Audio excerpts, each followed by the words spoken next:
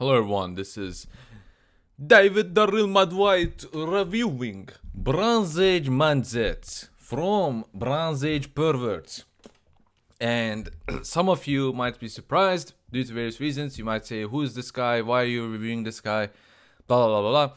So Bronze Age Pervert is Twitter famous. Uh, he has around 40,000 followers on Twitter, something like that.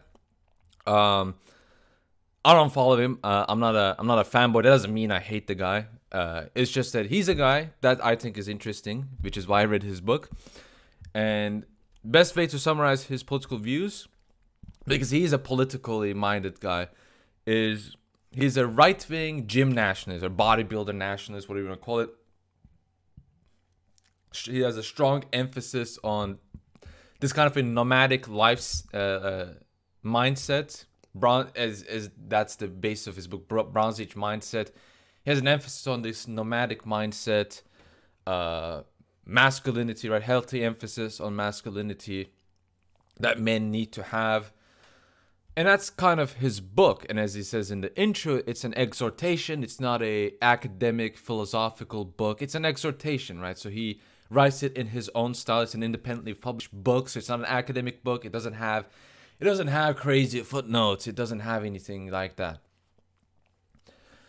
And because it is not an academic book, I will not treat it as an academic book. Nevertheless, if I feel like there's something he said that is right, I will praise him for it. If there's something that he says that is wrong, I will criticize him for it and I will provide why I think it's wrong, where I disagree, where I agree, as it should be because this is a review of the book.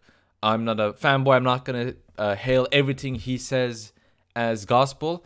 Neither am I a hater who's going to criticize every single small thing I see. There's a lot of things that I could have criticized, and it's not even about the content of the book, more so about like the style of writing. But again, it's independently published. It's not an academic paper. Who cares? Okay, who cares? Did I have fun reading it? I did. Uh, I did have fun reading it. But did, do I read these things because I want to have fun? No. I read these things to learn, and I don't think anyone will read this book to have fun. Uh, but is it is it written in a way you can read? Yeah. Uh, it is a decent. Am I going to recommend this book? Am I going to say, "Oh, you should read this book. You should not read this book"? Uh, I'm not going to do either. I'm not going to recommend this to you. I'm not going to not recommend this to you. I'm not going to say don't read this, nor am I going to say read this. If you want to read it, read it. If you don't want to read it, then, you know, let it slide. Uh, this is really for people that are just interested in what he has to say, in what, again, what he has to say. So, why did I read him exactly? Why did I, why did I, why was I interested in what he had to say? Well, I kind of remember the first time I went to Twitter. This was back when before I even had a YouTube channel. And I will see people posting about this guy all the time. I will say Twitter say follow this guy, follow this dude. And I'll see a lot of people talking about him at the time. Now they don't do that anymore. But first time I joined, it was impossible for you to not know him because he will be on your timeline all the time. And so I will I was, you know, I was interested, you know, what is this guy about? I mean, I guess he's right wing, but how exactly is he right wing? Is he like nationalistic? Is he, I don't know, is he capitalistic? Like, what is he exactly? And so I read what people thought of him. I read some of his tweets and I kind of had some idea. I'm not going to pretend as if I have a full idea. I read some of his alternate. It's weird because he has like, like mini BAPs that I like to call them. He has like these mini BAPs. Like you have the ortho BAP guys and you have like the like the atheist pop BAP guys, you are the Catholic BAP guys, and like like all of these like different versions of him corresponding to different religious traditions. And I thought that was very interesting. I like the something about like there being one source and like decentralized different manifestations of the ones it's something about that speaks a lot to me personally that's why i like the idea of feudalism a lot it's it's it's not logical. It's just that like it resonates with me, like the idea of there being one ruler, but with every, for example, uh, city region, you have like different layers of rulers. That whole thing just tickles my autism. Okay, if it doesn't to you, then that's completely fine. It's just something about me that I really like. Um, So when I noticed all of these things, and that, that doesn't mean I approved with everything. As a matter of fact, but lot of the things that they say, I was like, this is crazy. um, because it will contradict my religious beliefs. And obviously, I'm going to say my religious beliefs come first. I think everyone should put their religious beliefs first above everything else. I think this is 100% what every, everyone should be doing. Uh, so some of the things that contradicted what I believed, and so I was like, I kind of felt weird kind of feel, felt strange when I saw this. But nevertheless, this kind of is the reason why I decided to say, you know, let's read this guy. Uh, let's see what he has to say because, you know, with people, with, with personalities, online personalities, when it comes to politics, there tends to be this disconnect between the person that people are following and the followers themselves. The, the person that the people, yeah, I think I formulated that sentence correctly. Whatever, you probably understood it. For example, Trump. Um, a lot of people put their own images on what kind of a person Trump is. But does that correspond to what Trump is in reality? No. And I think this happens with a lot of people. This happens with Jean-Francois Gariépy, who got banned on YouTube, I think. Uh, maybe he's back. He's on YouTube. I don't know. Uh, this happens with Trump. I think this happens with Putin a lot, and I think it definitely happens with every single political person, whether they're a politician, president, king, or even just a mouthpiece, right?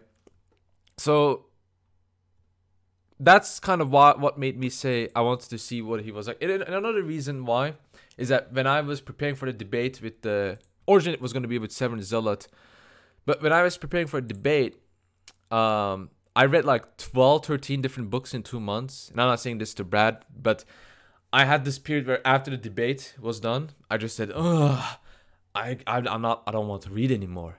I'm so bored.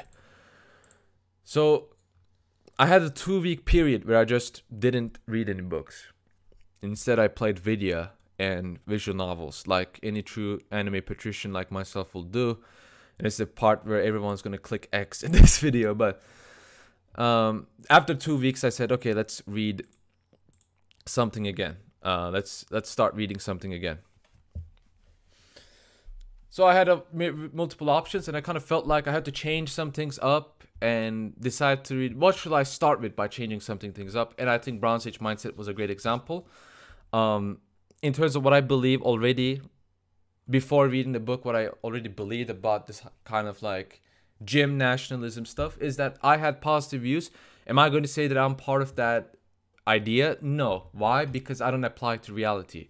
If you've seen how I look like, I don't look like someone who goes to the gym. Um, and I kind of feel like if I was pretending that I was like this bodybuilder nationalist clique, but I didn't even try for anything, it will be like calling yourself a Christian, but saying, oh, by the way, I don't believe in God.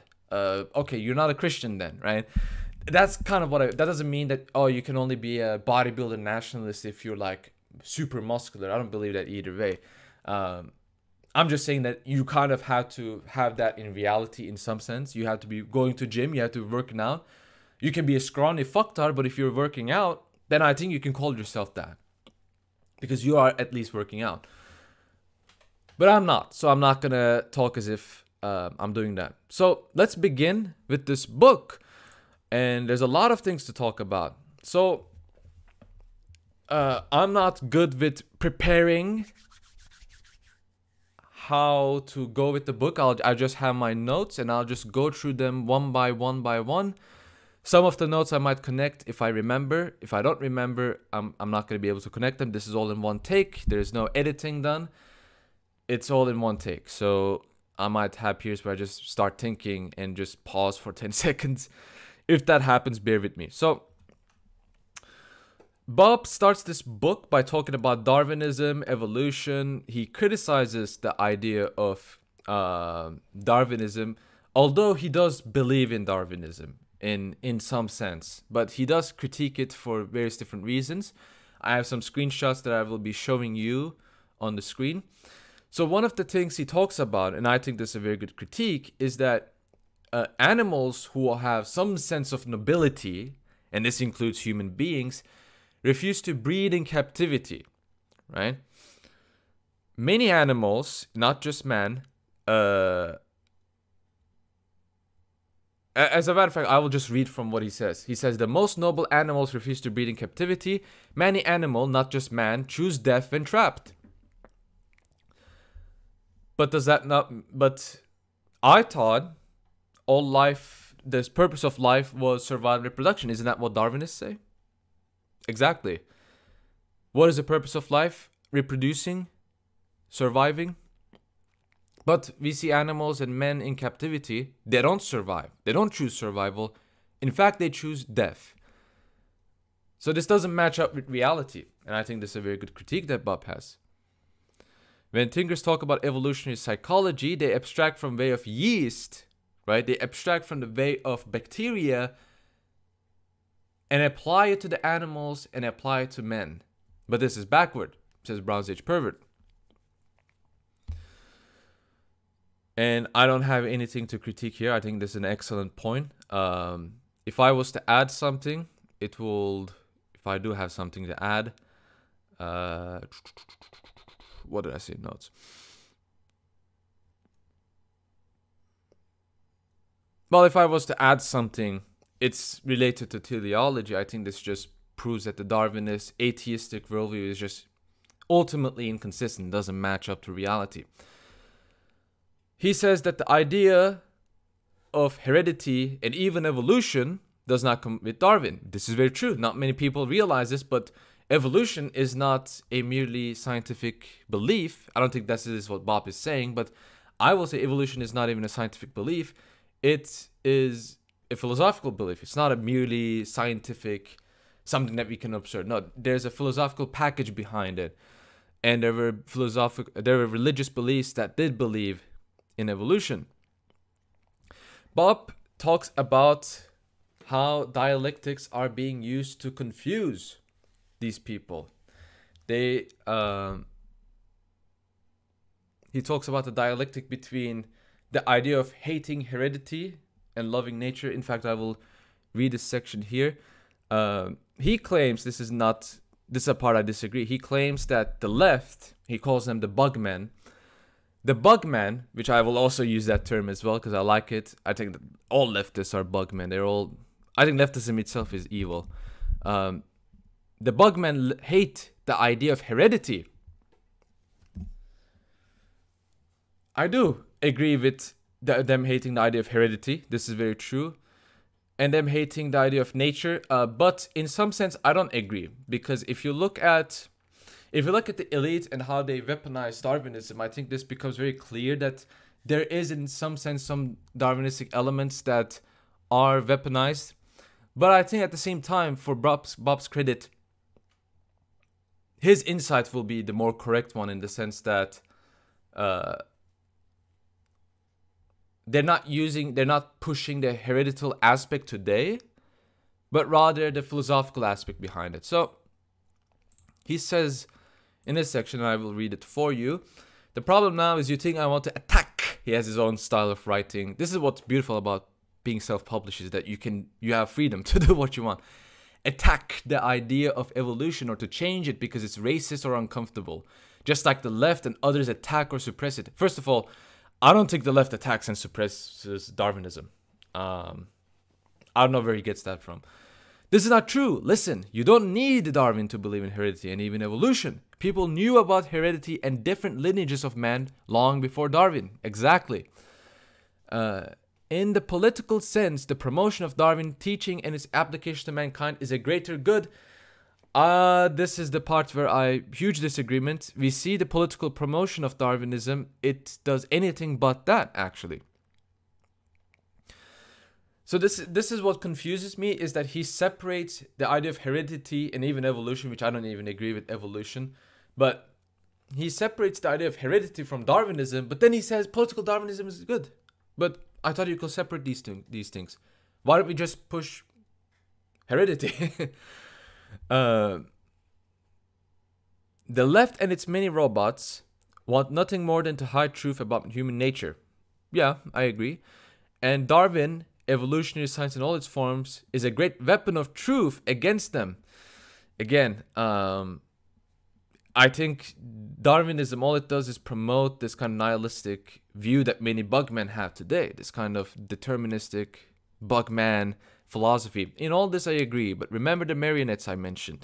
Right, so he's the marionettes he was talking about is referring to dialectics, how different seemingly opposing views are being used against each other, and the idea of nuance is just taken away. Uh, don't be distracted by the puppet play. It is important not to be misled by a fierce debate with a stupid opponent into just accepting the only other alternative that is presented to you. Although the left, or what I have termed the bugman, hates and fears evolutionary ideas applied to humans, Darwinism itself is the product of bug thought. In the end, it won't show you a way out of the prison of the ages, right? So he is pointing out that yes, actually, Darwinism will not tell you about the meaning of life. It's not going to tell you about telos. It's not going to be telling you about any of these things. The hereditary nature of the qualities and the suitability of an organism in, to its environment and vice versa. All of this is true observation. Um, but all of the things that he has talked about here is not Darwinism. That's just adaptation, heredity. That's not Darwinism. uh, I don't like. I don't think macroevolution is the case. I, I will be. I haven't seen. Maybe I skimmed through. Um, that's another thing, by the way. This review is not going to be like a perfect hundred percent review. There might be things that I missed. There might there's going to be things that I skip. But I didn't see his take on macroevolution. I'll be very interested to see that. All of this is a true observation, and that true observation about heredity is in the end enough. You don't need more than that to utterly crush all the designs and vanities of the bugman. The bugman hears heredity and nature, not Darwin. Then, later on, he makes another great point against Darwinism. Darwinism contradicts itself when it argues for its system, he says. Because its system requires teleology. This is something that I didn't speak out against, but speak out against. But I 100% agree. This is this is a great point. I mean, does it evolution require telos? If you're if, if, the, the the idea of evolving presupposes telos. Why are you evolving? What's the point of evolving? Exactly. And Darwinists, modern bugmen, reject teleology. Exactly uh, Bob says that there's an intelligence in all things. So he's he's talking about an idea of intelligence, but he says that we don't know. He doesn't know what it is. So he kind of has this deistic view. Is what again? Does he really have that? I don't know. Uh, he didn't explicitly talk about it in the book. Maybe if he did, then I'm stupid and I'm retarded and I didn't understand it. so there's that risk again. Um, but to me, it seems like deism. He has this kind of like deistic view about the intelligence in all things. He says this in, in the world of Malthus and of Darwin, life under filth, life under distress. Darwinism describes life under extreme stress. And so for him, Darwinism is the philosophy of life in a sense, but it's the philosophy of life of the tenement and the slum, of the open air work camp, is what he says. Interesting point. Uh, I don't have any more any more comments. I just wanted to point that out. Uh, I I wrote that the Darwinist lifestyle of slavery and emasculation forces people with some sense of nobility to commit suicide, then to live under co- conditions not fit for them. Right? Again, highlighting the point: if the meaning of life was reproduction and survival, why does this even happen? Right? Is it survival the number one thing that we all have in our mind? Well, the idea of suicide actually contradicts that. And it's not just human beings that commit suicide. So this is this is this is one of the first critiques that I have of Bob. He says, I'm quoting him, as rare as beautiful bodies are, the mind in the same condition is even more rare. Let us strive in our decrepit, cancerous, and fetid world for what is concrete and what we can try to attain. Those who forget the body to pursue a perfect mind or perfect soul have no idea where to even start. Sounds convincing. Only physical beauty is the foundation for a true higher culture of the mind and spirit as well. This is a key word. This is a key passage. Only physical beauty is the foundation. Foundation is the key word here. For a true higher culture of the mind and spirit. Only sun and steel will show you the path. I disagree with this. Why do I disagree with this? Do I disagree with the promotion of physical beauty? No. What I disagree with is the idea that only physical beauty is the foundation for a true higher culture of the mind and spirit. Because let's argue for the sake of it.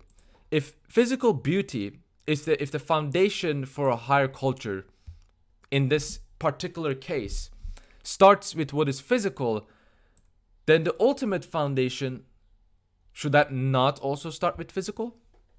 Well, yes, it is. If it starts with something immaterial, then it also will start with something immaterial. Then, you know, you will have to do it reversed. Then Bob will have to say it starts with the mind, with the soul, and then it comes down to physical beauty. But Bob doesn't say that. He says the opposite. But there's a one-to-one correspondence there. If then if ultimately all source of beauty is physical, uh, knowing that what is physical, what is matter, matter changes, matter is in flux.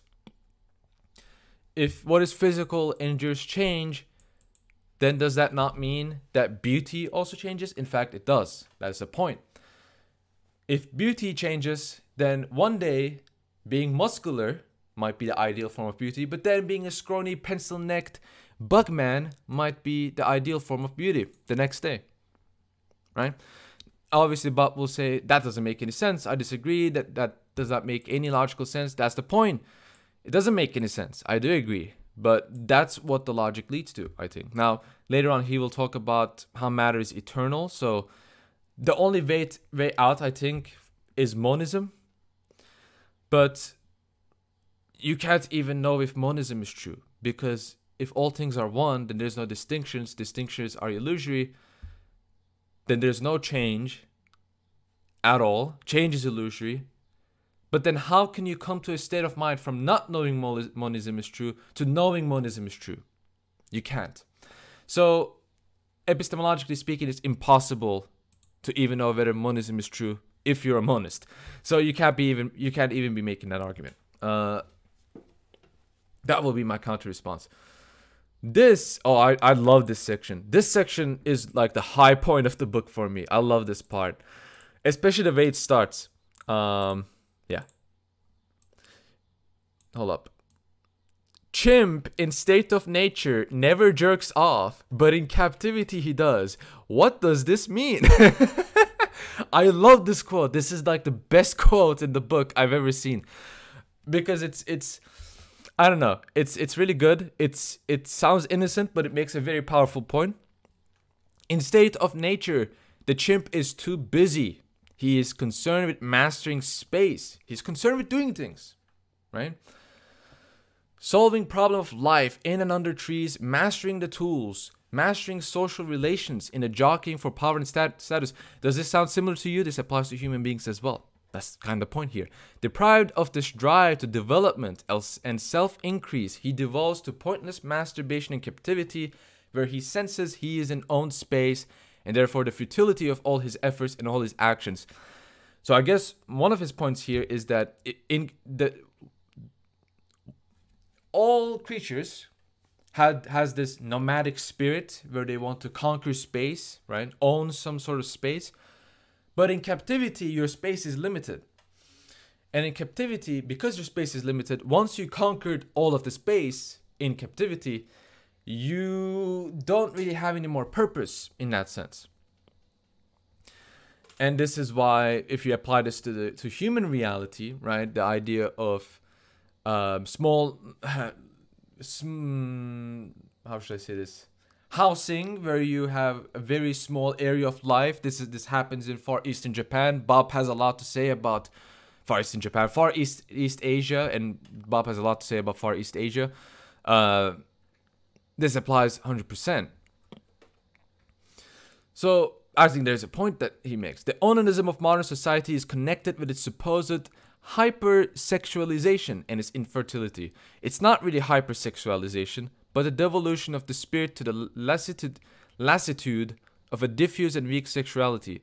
Life in own space becomes drained of energy through low grade pointless titillation, and nofap is a kind of a cargo cult that tries to reestablish energy in order on path of ascent. So I think his point, he does say it's a successful cargo cult, but whether you whether it nofap even works, you can see it within a week, right? If if it doesn't last a week, then it doesn't work.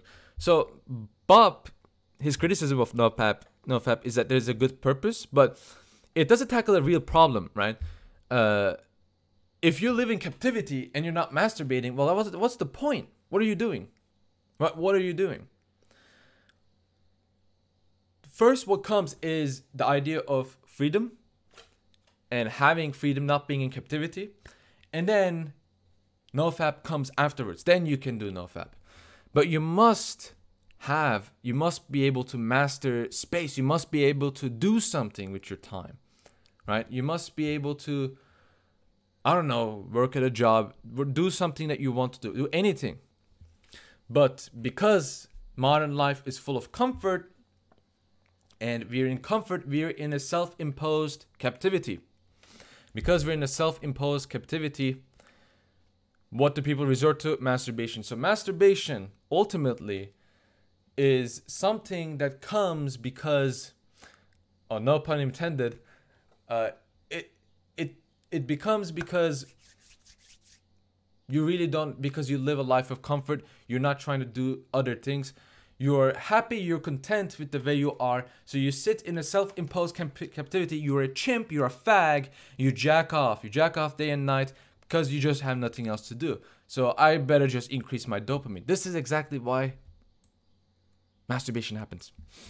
So I, love this point. Uh, the first thing about all this is that women, censors the woman, Women have exceptionally good antennae for this kind of thing. And when a man frees himself from these pressures, they see this from very far away. So for Bob, women suck your life energy out. So if you even succeed in mastering space, right, kind of like ascending to stop stop being a coomer, right? You stop being a coomer, you ascend into being something else. He says women can see that and now they have a reason to suck your life force from you. Interesting. They have an instinct to seek out ascending life and drain it. They and the species thereby achieve their goals, but you're bled dry and sometimes left a husk. They revert life back to its irritated state, and, and by their drainage of vital essence, they've laid low of many great tasks.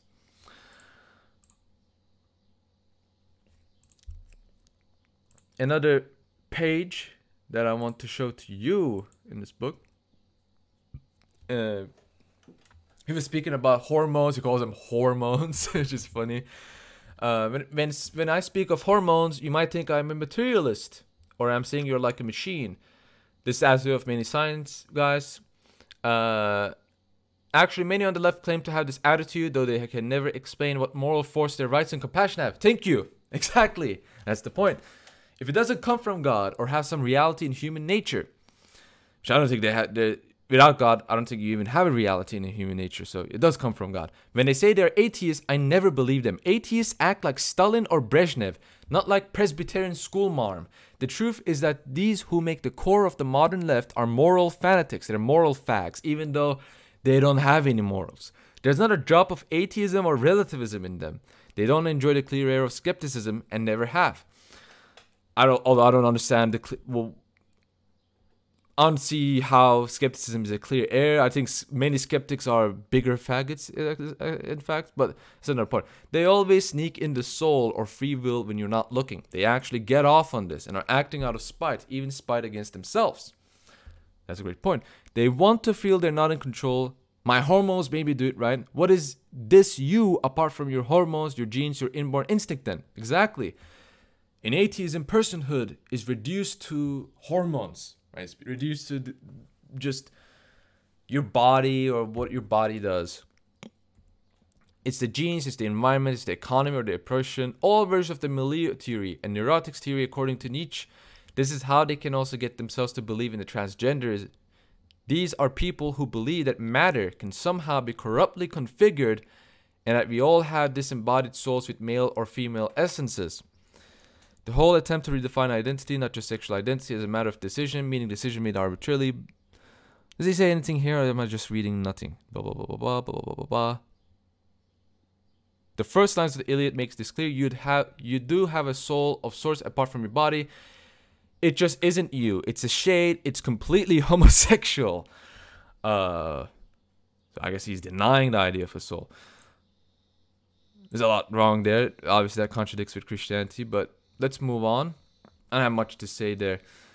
He says that animals walk around in a state of permanent religious intoxication. So he's talking about the importance of some kind of a religious worldview, religious understanding of reality. He said this is a natural condition of the mind and intellect. So the natural state of all creation is to be in a religious mindset. I agree. Although Bob will probably say comes to a different conclusion, whereas I would say yes. And ultimately uh, it's a state of logos. It's a state of believing in a Christian God. Interesting uh, insight that he makes that I think is worthy to mention. Discoveries, he says, they don't come from reason, but from direct perception from man of that discovery. And he says that reason explicates the discovery in an imperfect way. Uh, so he gives an example.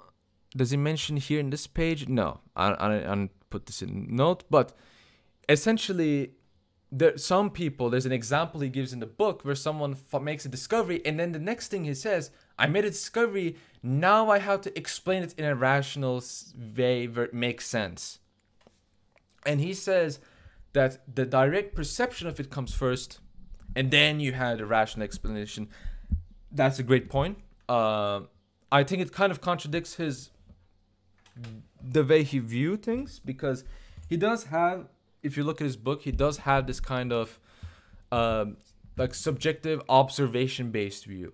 So i kind of think that kind of comes into a contradiction in some sense but uh, i think it matches up in, in orthodox christianity we have we can observe the essence of realities with our nous as well. Uh, many orthodox church fathers right they don't they don't come to the Trinity through logic, right? They come to the Trinity, they come through these doctrines through spiritual right life, through through the nous.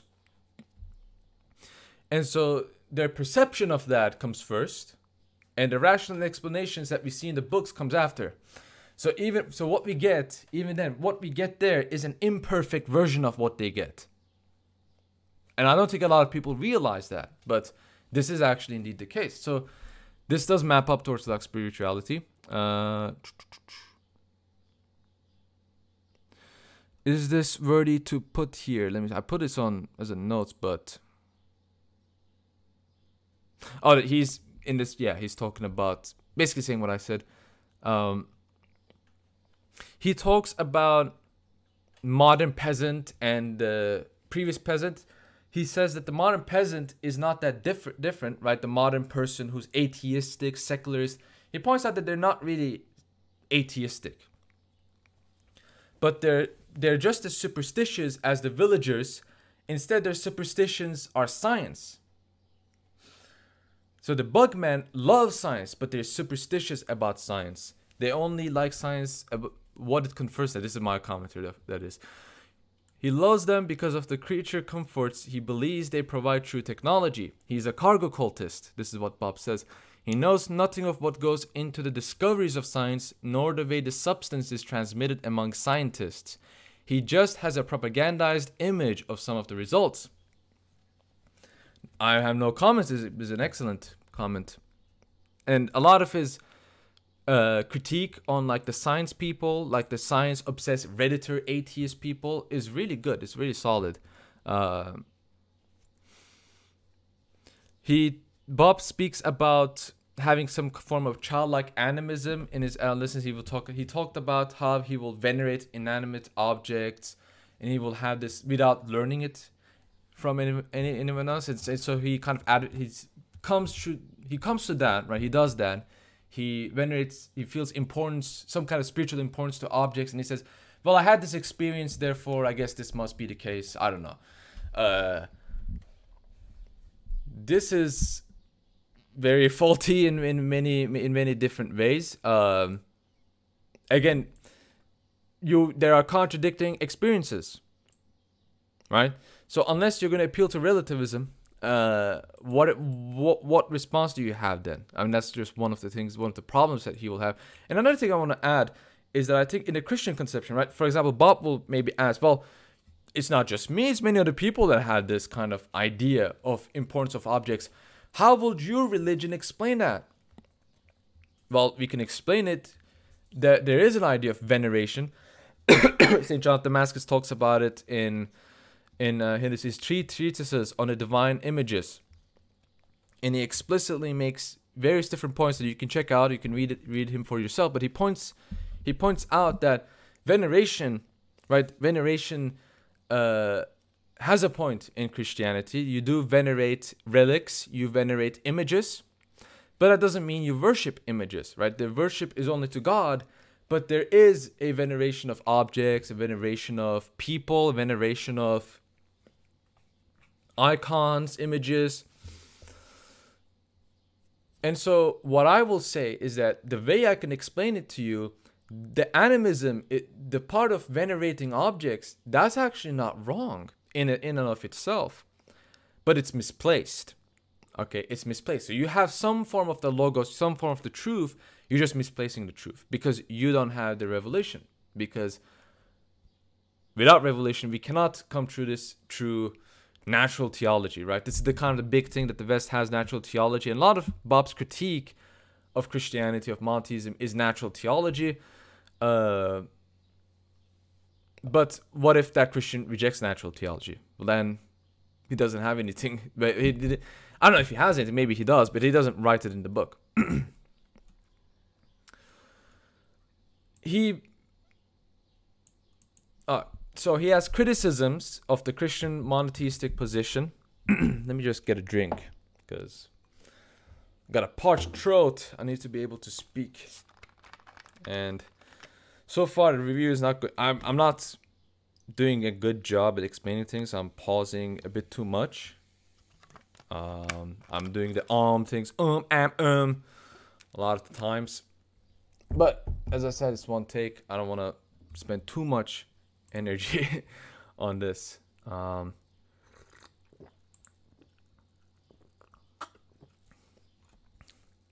but I also want to make sure that I express his views properly. Because i would hate that. I i hate i hate like misrepresenting people. Yeah, that was a fun break. Let's move on.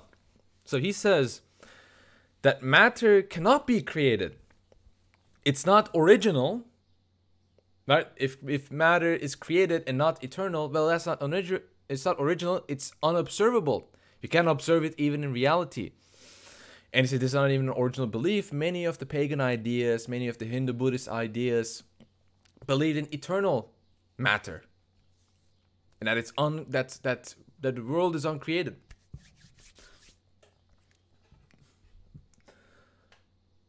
He says, monotheism, this is me quoting him, monotheism, even of the intellectual deist variety, and especially that variety, makes all kinds of claims too about the lawfulness of matter or of nature, about intelligent design and the like.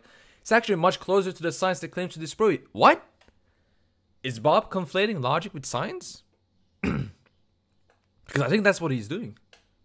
How is it closer to the science that claims to disprove it? Does science even disprove it, right? The idea of laws of nature, laws of matter, laws of morality, that's not scientific. That's not a science based thing, that's a philosophical question. So I don't, I don't it, it really confused it, it genuinely confused me when I read this. Like, what is he saying? So much of this story makes time a line and makes matter conditional on a deity or creator that lives outside it. The creation of matter out of nothing, the creation of, of your soul out of nothing, matter is dead in some way homogeneous, and its meaning is divine, only in the sense that it reveals the creation of the external deity, or even better, just the laws he made to God. No, that's not true. That is not true. Matter is, first of all, matter is good because it's created. Everything God creates is good. That's number one. Number two, matter is not divine because it reveals, only because it reveals God. There's an aspect to it, but that's not the only reason. In fact, when Christ became human, he was made out of matter. God became matter to deify matter. So now even creation, even even matter is now divine. The space we inhibit is divine now because of Christ's incarnation. So, and it's not divine in the sense that oh, you're a pantheism. No, it's not pantheism. okay? Uh, we're not saying the matter is God's essence, or that's stupid. Uh, but it is divine in some sense. So that's not the only reason. I'm sorry, but uh, this refutes Western Christianity. Yes, it does. Uh, it, these are strong critiques of Roman Catholicism, Protestantism. Uh, does it even touch Orthodoxy? Not at all.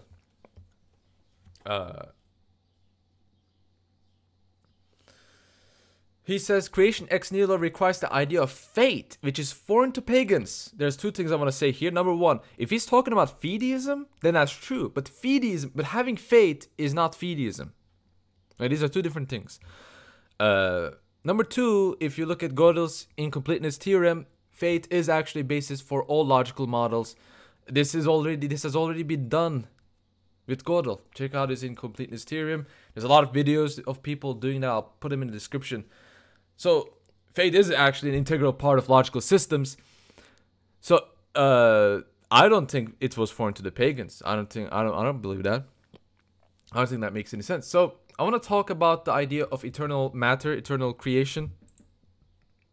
So first of all, uh, there were people that critiqued uh, pre in the pre-Socratic era, to my knowledge, the idea of matter being eternal. There are people uh, maybe it was Zeno, but I might be wrong. But there were, I think, Zeno argued that if creation was eternal, that will mean that change will be illusory. So even back then, you had those kind of critiques. And again, that leads to monism because not even monism, but if change is illusory, if change is an illusion, then you changing your mind to believing in that is an illusion. Epistemically speaking, again, with the same problem with monism, you can't even come to that conclusion.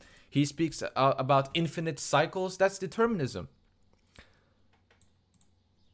That is determinism. That does lead to. now, I don't think Bob will argue for determinism, but that is deterministic.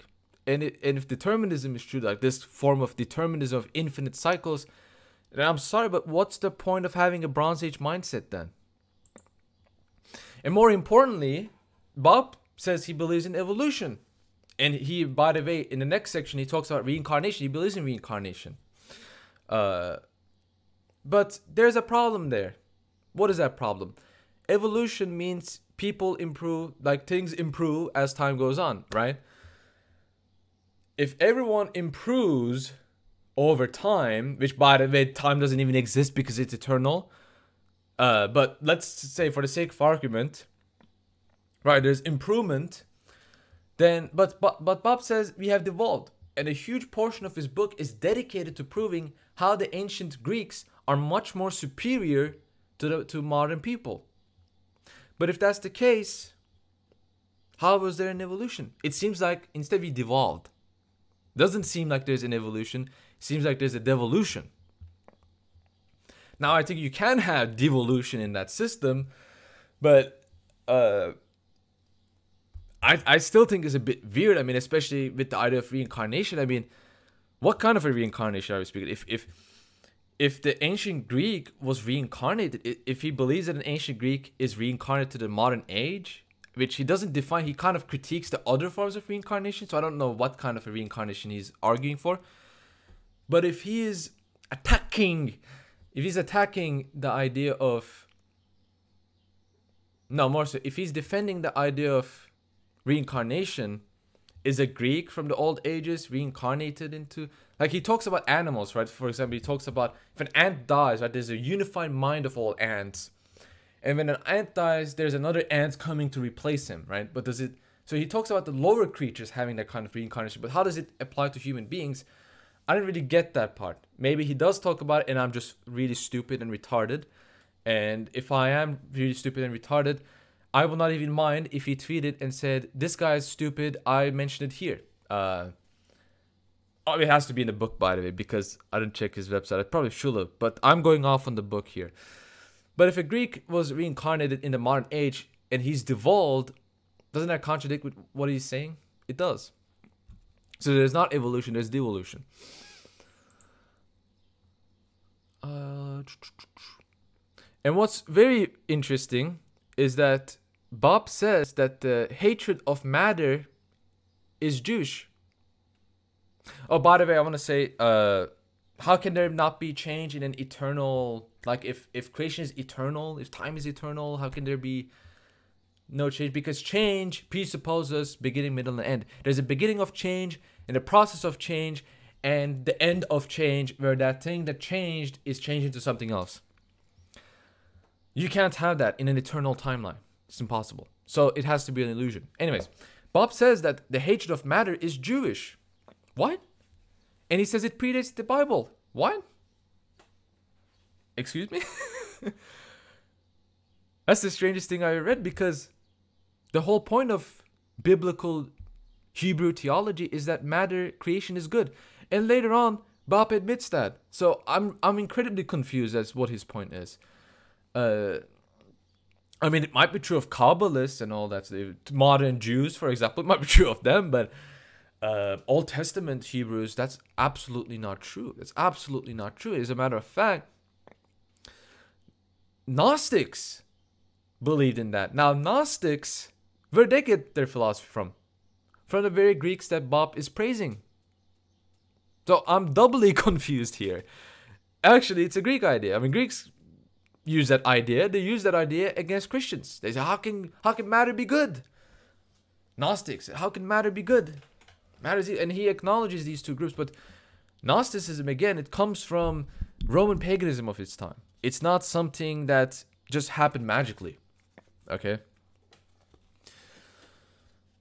So how can how can matter being evil is how can it be a Jewish idea when we see in Genesis that all that God created is good? It's again I'm I'm incredibly confused here. And if you look at the church fathers, they take the side of Jerusalem, not Athens. Right? Athens is the side that Bob takes. Jerusalem is the side that the church fathers take. Does that mean that we're like we're like Jews now? Like, oh yeah, we're like we're like we're like Jews, baby. Uh, we're basically like Jews. We just believe in Christ. No, uh, that doesn't mean that either way. I'm just saying that matter being created, um, creation being good, is a Hebrew idea. It's a revelation to Israel, and later on, it's a revelation they they, they themselves rejected. So let's move on.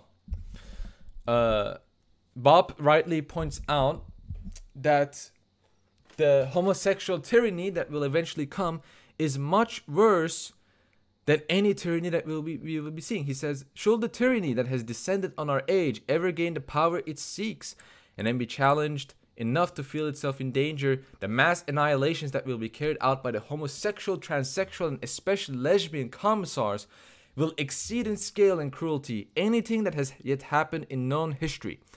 Imagine lesbian mulatta commissars with young Martin Sheen face and haircut manning the future Bergen-Belsens, installations that will span tens of miles. Uh, I agree. Uh, I think I think homosexuals are a lot more rootless than any other people group. Uh, some people are asking for me.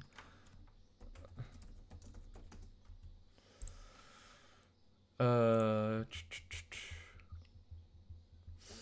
all right, so I think yeah, we're done with the with the religion stuff. Finally, uh, that's the that's the part that I didn't like the most. The most interesting part is about civilization and politics and whatnot. Now we're getting to the interesting part. Now let me see. Yeah, so Bob, in his view of civilization, is very interesting. He says civilization, the idea of civilization hinders the freedom of man and emasculates him. Civilization hinders the freedom of man. We think about Western civilization, he has, he has things to say about and how why Western civilization is actually good. But for him, right, when we think of he says Westerners look at the East as the first examples of civilization in history Aside from the problem of defining what a civilization is, the concept of cities and civilizations limits man. The big difference between East and West is the concept of citizen in the West. So for him, the West protects this nomadic spirit with the concept of citizenship. East doesn't do that. They don't have the idea of citizenship because they don't. And I will say, I will argue because they don't have an idea of personhood. The Greeks had somewhat of an idea, some of them, but especially in Christian societies, you have this idea of personhood. Now, Bob doesn't mention that it's a Christian that Christians have this, but I think the Christian idea of citizenship is what exactly mitigates the problems of civilization. the the West attempts to mitigate the evils of civilization, for but again he thinks that it fails in doing so. Buddha did what he did essentially because he attempted to escape the city and move into the steppes to become a sort of a spiritual nomad and flee in the wilderness. He, uh, so that's his theory on why Buddha did what he did. I don't believe that, but whatever. He says the Japanese man gets an allowance from his wife, who often physically depletes him, takes his phone allowance, his lunch money. I can affirm what he says. the woman rules Vietnam, and the faceless clerk or merchant who claws his path in the ant heap of this society is beholden to his hectoring wife like a slave. Matriarchy and anonymity are the principles of these piles of biomass. Never call them hives. The hive is noble. The hive can be a work of beauty and order, but the city, the city in its original form, is humanity reduced to a steaming rat pile. In the hive, the ant or the bee achieves the full development of its inborn nature as worker or warrior or queen. But who can say this of most cities in history? Uh, Constantinople. That's a Constantinople, uh, I guess. Uh, do you think man stamping papers, scheming to escape wrath of long-nailed office autocrat with spittoon, who hawks smoked fish out of newspapers with fingerless gloves or sells birds with clipped wings, to jeering human macacas? Do you think such creature is a specimen of well-turned life? I see the point that Bob is making, but and I'm gonna and this is like kind of like a pre-critique because we're gonna get to his kind of view, his alternative, but I think the same thing. This the things he says. I think the same thing can apply to his view. So actually, give me a second. Uh, I'll be right back. I need to. I need to handle some things. I'll be right back in 30 seconds.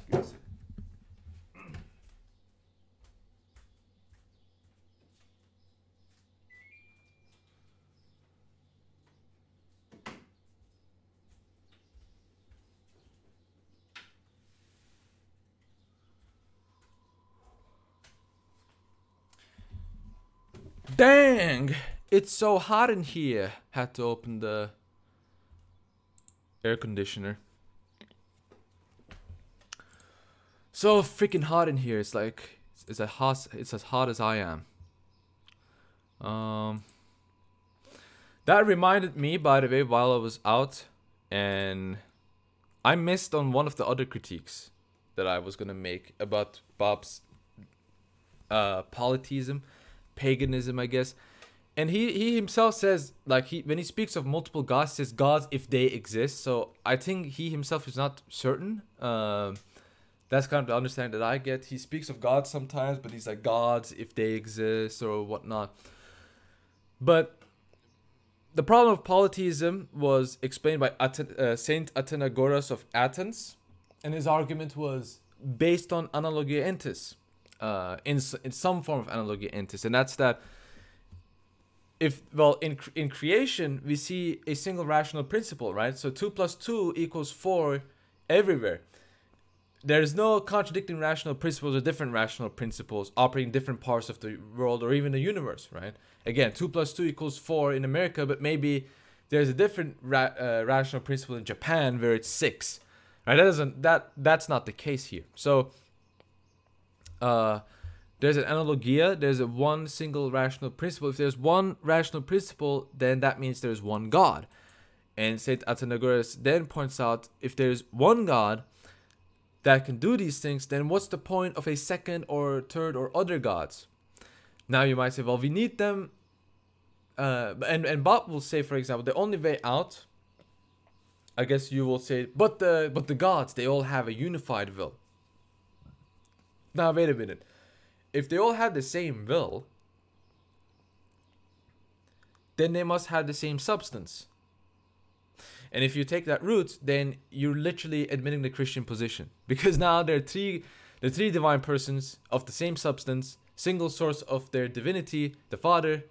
Uh, I don't see how that's uh, that's where you come to, right? If and if you're going to talk about a subordination system, I think that's just moving the problem to a different step. So I want to note that. Uh, Bob says that Aristotle compares two civilizations. So there's a Northern European civilization that's nomadic, it's barbarian, and there's a submissive Oriental civilization. Aristotle says both are bad extremes, but Bob then moves on to say the Greeks respected the, the Northern Europeans a lot more than the civilized Orientals, even though both Greeks and Orientals are civilized. He even says that the Orient is the enemy of the West. Now, this is a, a Bob hates uh, Far Eastern Asians. um, I guess it's because you know his whole thing is about being nomadic, being a free spirit, right? Not a free spirit. That sounds a bit gay, but being nomadic. It's kind of his idea. Uh, and the Orient is against that. They're against the idea of personhood, individuality, freedom. They're bugmen. They're all bugmen for him. So they're the enemy of the West.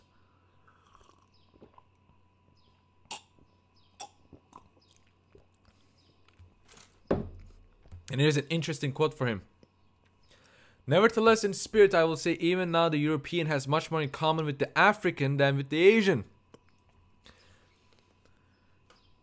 I know many dorks who fetishize IQ above all else will disagree with this.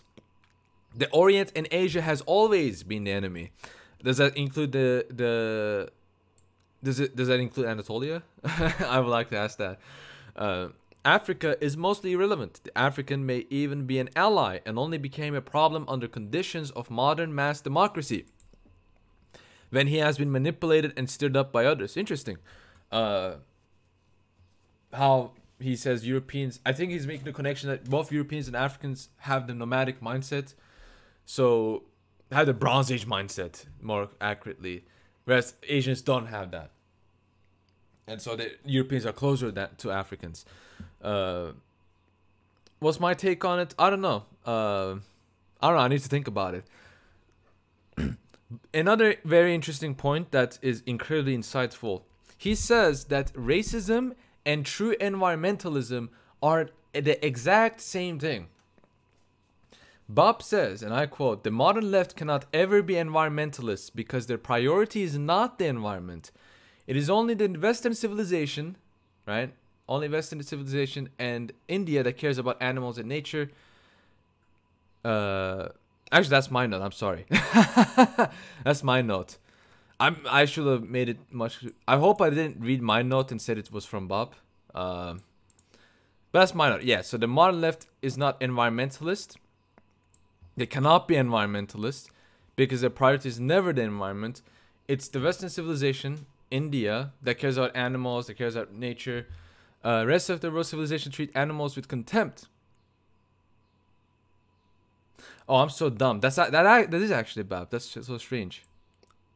Anyways, that is him. He says that. Industrial agriculture is an evil needed to be stopped, but the only people that care is the European man, no one else. Environmentalist groups like Sierra used to oppose immigration because third world immigration contributed to worse living standards. Very good point. Since only the Western man cares about the environment. Non Western people live more naturally, he says, right? So, one of the critiques that will be against his position is that look at the Africans, they live so natural. But he will say that does not mean they actually care or help the environment. So, for example, foreign aid to Africa does not lead to healthier living conditions, but instead, it results in more people, which results in more people using resources, which ultimately means more damage to the environment. So, no, that's that's not true. He says. I uh, he says that yeah, caring for the environment is a Western idea. Thus, environmentalism and racism are deeply rooted and inseparable. This is what his argument is. It will very this will very much explain the sudden rise of Pine Tree Gang you see on Twitter, right? The kind of like right wing environmentalist gang that we see, and this will very much explain that. Um, I don't know. What what do you think about it? Uh, I think that there's some there's some logic behind it. This is another fact that I really agree with Bob. He says that the problem is in technology. And he's not speaking against trans not he's not talking about transhumanism, but the idea that we should downscale technology, right? He says we shouldn't downscale technology, and I do agree with him, and this is something a lot of people will disagree with me, but downscaling on technology will make things even worse. Because we already live in the if we if we try to live under 15th century conditions is extreme, but if you try to live under 15th century conditions, if you try to live, no, sorry, if you try to live the 15th century lifestyle, and I'm talking about farming and all that stuff, if you try to live that lifestyle with the 21st century conditions, what do you think is going to happen? Everything's going to get screwed up. so if you if you downscale on technology, you it's going to get much worse. You're going to cause massive death. You're going to cause massive problems. So the pro-environment left, the anti-technology people uh, are short-sighted, I think, and I, I agree with Bob. Uh, for Bob, the problem is democracy. I definitely agree, because with democracy, you it enables the mindset of certain groups that impose their beliefs on the populace, and the pro-environment left is our is against environmentalism because it advocates more power, more democracy for people who are against the environment. He says there is no inner working of technology that inevitably leads to human subjection. The tendency exists merely because by allowing an overwhelming increase in the numbers of the superfluous, superfluous, it gives them and those who cater to them power when it is mixed with democracy. The left environmentalist, among many others, is misguided because he wants more power given to such people. He attacks precisely those elements of the modern West, of modern technology, even of modern culture that can mitigate the rule of the superfluous and the destruction of nature, including human nature. Here's a quote that he says Great lie for age is that it is about the freedom of the senses, liberation of the desires from stodgy social and moral control. So is it speaking against moral facts. In fact, even Middle Ages, man lived with more lust for life even more sexualized. So he's talking about this idea of vitality, this inner vitality of man, love for life, energy for life.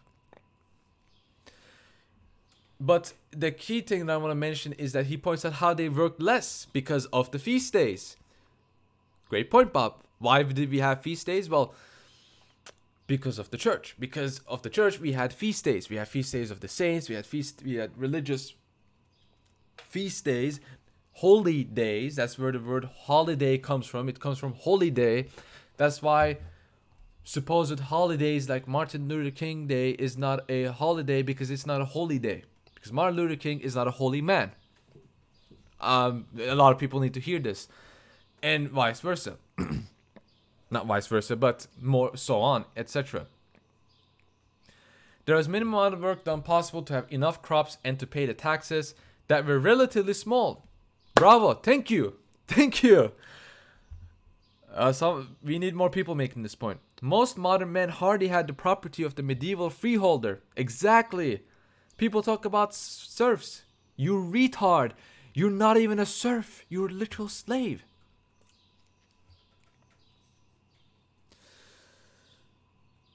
You are worse than a serf. You don't even own anything. You you you they they criticize slavery but what is slavery? Well, you are you're under a person and that person provides you living conditions so you can work so they can work for him. How is that any different from modern slavery?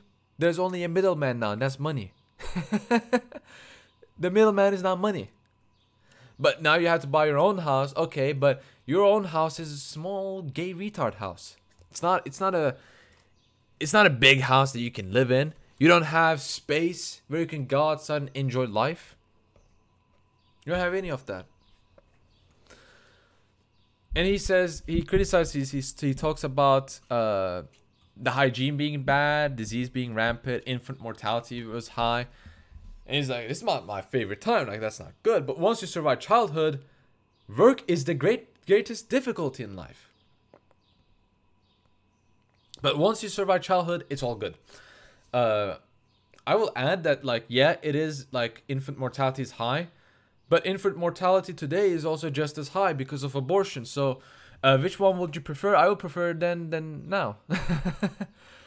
uh, so if you add an abortion, then it's actually just as bad, if not worse. Uh, Bob talks about creation myths and how they differ. He talks about Carpocratian Gnostics who commit the most absolutely evil and most degenerate acts to re- revolt against the evil demiurge, right? He's, so in this section, he talks about the Gnostics. Uh, and then Bob says he doesn't. He's, he's saying I'm not agreeing with the Gnostics, but they're a lot more realistic than the Christian alternative in that sense, because Christians believe creation is good, right? Whereas, how can creation be good? There's death in the world. There's much more evil in the world than there's good.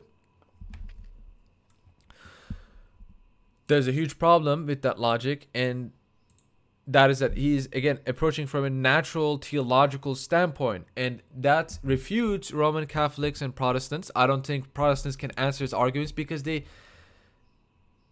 they approach from the same exact perspective. But this is like, think of it this way: let's say that you live in a room and you know you know you don't know many things about the real world but one of the things you don't know about the real world is flowers. Are you going to be able to find flowers in observing with sense perception? No. You're not going to be able to find uh, flowers in your limited living space because there isn't any there. But there are flowers outside of your living space. This is an analogy. This is not a like a but let's say that there's a book it comes to you, it explains human history, and you read, oh, there's this thing called flowers. Doesn't exist here. I can't find it here. But apparently there is this thing called flowers. So what is the point that I'm making here? Well, the point I'm making here is that if the world is fundamentally different originally from what it is now, then you can't find that world by looking at nature. You need you require revelation. And that's why you have the the fall of Adam. The original state of the world is Garden of Eden. Okay? The fall of Adam is unnatural. It introduced sin and death into the world. That's why you have evil in the world. But also at the same time, you talk about evil. Well, how do you explain evil in your worldview? I mean, um, I haven't seen it in his book how he can explain what is evil, what is not. And again, it's not an academic book, so I'm not going to hold him to that standard. But because he doesn't do that, uh, I have to kind of ask the question, you know, how does he believe that there's such a thing as evil in the first place? Or why should we escape the world? Or why is it more convincing, right? If there is no evil, then how is that more convincing than the other? It's not, right?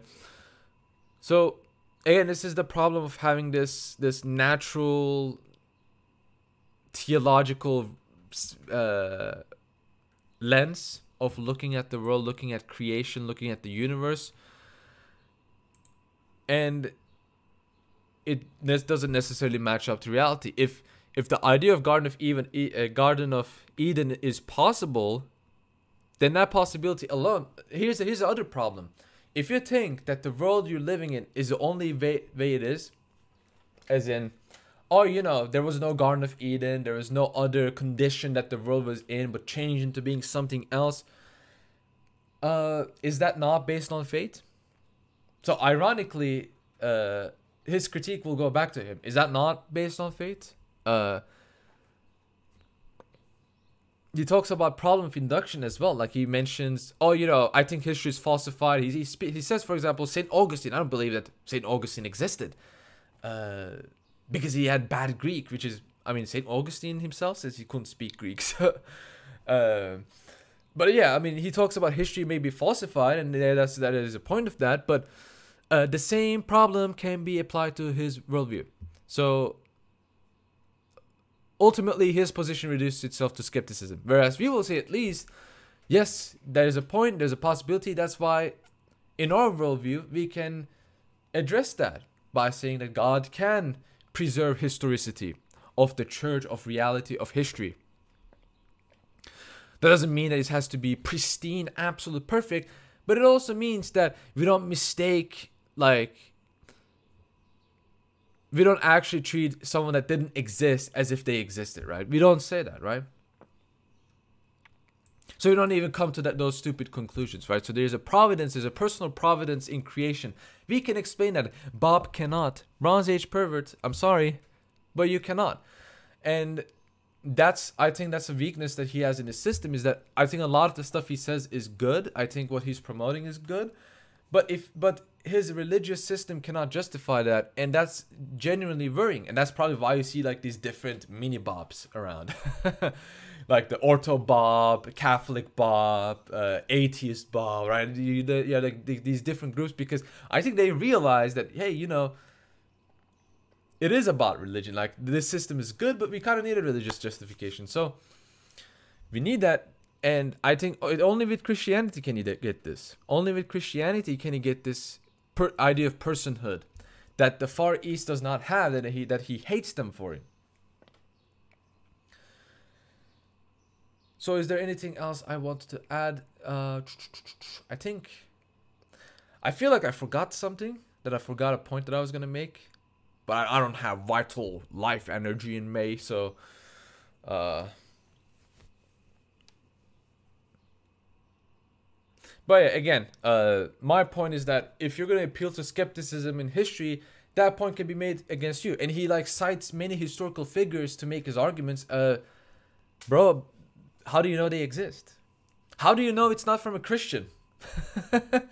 how do you know it's not like he says like uh how do we know like the Bible is even uh like how do you know the Bible is from the true Christians, right? It's kind of like silly like oh how do you know which Christianity is the true Christianity? How do you know your worldview is the true worldview? How do you know how do you know the Greek philosophy you have are actually Greek philosophers? How do you know they are not from the Christian era. You don't. You don't. Ultimately. Now you might say, well, actually we do because we can do scientific observation. Wait, wait, wait, wait, wait a second. How do we know scientific observations are true? You can't say they're true because they're true. you can't use science to prove science. So how do we know that scientific increase can lead us to perceptible truths? Again, you can't know that. But if you go down the skeptic route, that's also self defeating. So, what's the alternative? I think the alternative is Christianity. Uh, so he has this classical foundationalistic kind of viewpoint that causes a lot of problems. I think I think Bob considers a lot of like uh, a lot of things that we know like personhood, masculinity as like brute facts instead of theory laden things. Um, Bob says that the greatest government is a military government. Um, I'm not a pro-military guy, but I do see the logic in that. I don't think it's it will be good in today's world, but in the past world, I think there is yeah. I think there's a lot of advantages with the military government, especially look at Sparta, which he used the example of. Doesn't mean the Spartan education system is absolutely 100% perfect, but I think there's a lot of things that we can learn from it. Uh, Bob speaks about Alcibiades. Uh, let me actually get to that book. Let me get to that section because I don't have it in my notes. This is section 50. Take some time to. So he starts. So the kind of the point is that like how Athenians, ancients, were a lot more superior than to the modern man. So he says, he starts with saying, imagine a Mitt Romney, but he's a different Romney. He's a he's a he's a Romney who actually was capable of acting like he looks and was worthy of his looks, right? Imagine a younger Mitt Romney who rouses the nation to a new war against India through power of charisma and speech alone. Then he leaves on a ship to head to the armies conquering India but then come rumors that Mitt ran a black mass Satanist dinner in New York. Also, people awaken one day and find that someone defaced the Holocaust Museum and the Lincoln, Lincoln Memorial. Rumors spread that it is Mitt and his friends in preparation to overthrow the government. So he is recalled from his command to stand trial instead of returning. Mitt re- runs to Russia where he becomes a major advisor to Putin. Soon, though, he finally has to leave in a great hurry when it is discovered he's been banging Putin's wife in secret. He runs to China, where again he miraculously becomes a major political force and advisor, adopting Chinese customs and language with ease.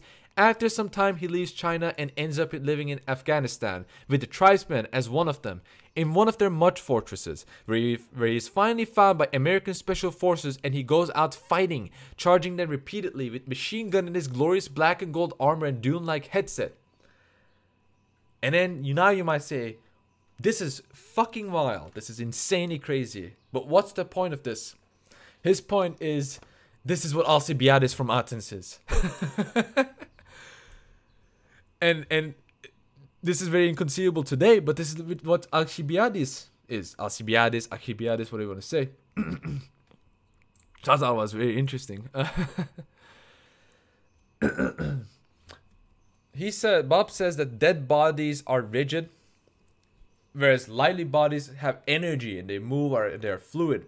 And this analogy applies to life. If you have a rigid, boring world, boring life, like like in the modern world, and you see this in politics, like it's rigid, it's it's it's lifeless. You have a dead political life. You have a dead life, if that is the case with modern life, and that's what modern world is. And he points out this is why Trump is liked because he's fluid, he's energetic, he's lively, he's lively, and he destroys political rigidity. Uh, Bob then moves on to the analogy with the story of Hippocrates who convinced the father to marry his daughter, right? And then he, in the wedding, uh, he gets drunk. He starts to acting crazy. He goes to kaka cuckoo. He starts to dance. He does he does some crazy breakdance moves. But remember, Greeks don't have pants. And if you read Paul Scolas, pants are for actually if you read Greeks, pants are for homos because Persians had pants and in Persians were homosexuals. Greeks are cool and masculine. They show their legs. They had skirts. Not exactly skirts, but they had skirts, okay? So when you're doing breakdance, yeah, your underside is going to be shown to everyone when you're breakdancing like a madman. And this is what Hippocrates did. And his father, seeing the way he acted, said, You dance yourself out of marriage, Hippocrates. And Hippocrates says, Hippocrates does not give a shit. He says Hippocrates doesn't care, but might as well say Hippocrates doesn't give a fuck and he mentions Diogenes the Cynic, who tells Alexander Great to proverbially to fuck off from his shade after Alexander Great asks him what his wish was. And Bob gives this example, and his point is, and I'm very sorry for cussing as unbecoming, but still kind of to illustrate the point. Um, but what is the point here? What is the point in these stories? It is about living life with energy. It is about ceasing to be be this rigid, dead, lifeless, stupid little oh too nice guy kind of deal. This is why I will add that nice guys finish last because they're rigid. They don't have life in them. They're betas. They don't have life. They don't have activity. They're slaves. They're mental slaves. They're mental slaves to women. They listen to what their woman say, blah blah blah blah blah blah blah. But the woman doesn't want that. They want the other way, the other thing. The woman wants the man to be lively. But the beta, the, the rage cuck beta bucks cannot do that. Or rather, he does not do that. And so the purpose of the beta buck is to be a, an ATM machine, as Dick Masterson says. Anyways, he then points out, didn't the Christians also believe in give us our daily bread, implying that this is enough and you shouldn't worry about anything else, even for the week? Uh, that's is he, if he's saying that's the only that's the main purpose, and that's wrong. There's many reasons why that give us our daily bread, but uh, I see his point. I mean, the the importance about like loving what you have is uh, he says Nietzsche says good things about poverty, independence, and being of good cheer. And these were very poor men, but the sons of God need nothing more. And I don't, I don't know if he says sons of God in like talking about Christians or is he talking about something else? I don't know. But let me get a drink. Actually, let me let me take a break here. Um, before I take a break, I think I remember. Ah, I'll remember after the break. I'll take a I'll take another minute break. Uh, I'll close the air conditioner. Hopefully, it's not producing that much noise. I'll be back in a minute.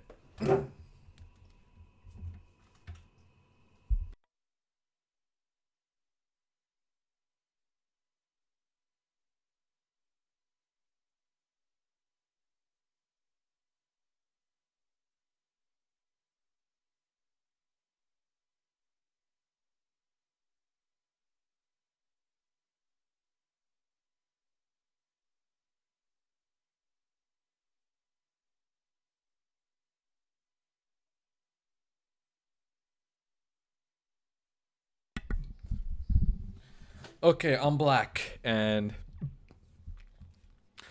let's let us continue with our journey to the Bronze Age mindset.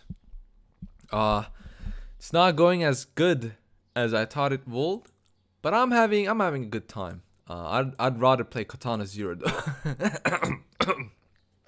Ah. Ugh. I just thought, is what I'm doing what Alcibiades is doing? Like, like doing what I want, like being like, oh yeah, I- I'm gonna take a pause by the way, you guys, and I'm gonna like, like baiting people, making people wait. Is that what? Is that what like I'm doing right now? kind of made me start thinking. Maybe I do have the Bronze Age mindset in some sense, but I don't have physical beauty, so I don't think I have. According to Bob, that is. Maybe I do. Uh, Bob points out. I should have said Bob means Bronze Age pervert. I should call him Mr. Pervert. Like Mr. Pavard, Mr. Pervert. Mr. Pervert. What do you think about uh friendship? Mr. Pervert says modern friendship does not exist. It's dead. Because in the modern age friendship has become and means to an end rather than becoming a genuine love for another human being. This is, I will add that this is fundamentally why the modern West misunderstands ancient love and thinks, it, thinks it's sexual. He himself says this as well. So, for example, we see a lot of like these like fake retard historians who takes adelphopoiesis in ancient Christian context where you have like spiritual brotherhood uh, in the church. They think this is like like gay marriage in the church. If you actually believe that, here's what I think of you. I think you're a stupid faggot and you should probably shut the fuck up. I'm sorry for using cuss words. It's an unbecoming of a Christian. I will confess this to my priest, but you should really shut the fuck up if that's actually what you believe because you have no idea what friendship is. I 100% agree with Bronze Age Pervert that the modern understanding of friendship is absolutely retarded. He says that friendship, uh, let me see, let me, maybe I wrote that. Uh, yeah, I wrote this. So friendship is a camaraderie between brothers in some, not real brothers, but spiritual brothers. So in some sense, there it can be a means to an end, but it's not also the means to an end. It's more so you develop your friendship in a journey with a group of people that you're in a journey with. And that is why when you see and and some people might laugh at these like examples, but like you see like animes like JoJo, why do people like them? The whole concept is you have a group of male friends who go on a journey together and they have a real bond of friendship with each other right this is this is not only in this is in many different uh japanese media where you have like friends doing friendship stuff being on a journey together. Persona is another example of this. I haven't played persona but um i heard persona is a lot like that. So this concept still exists. I, I could give the examples from japanese media. Does it exist in the west? I haven't seen those examples really well in western media. Uh most of the time the closest examples end up being gay porn. Uh, gay softcore pornography, like I don't know, Brokeback Mountain or something like that. Uh, so I I don't know, but you know, why do people watch JoJo? Why do people love that? You have a group of men going on a journey together, and even at the beginning, they don't even like each other, but they go through hardships with each other. They share the same exact experiences. They share the same goal and it starts pragmatically but it becomes a real spiritual friendship that they have with each other where all of these characters genuinely love each other. And i'm not saying love in this pederastic idea of sexual love. That's not what love is. But genuine care for one another wanting the best for other people. That's what love is okay?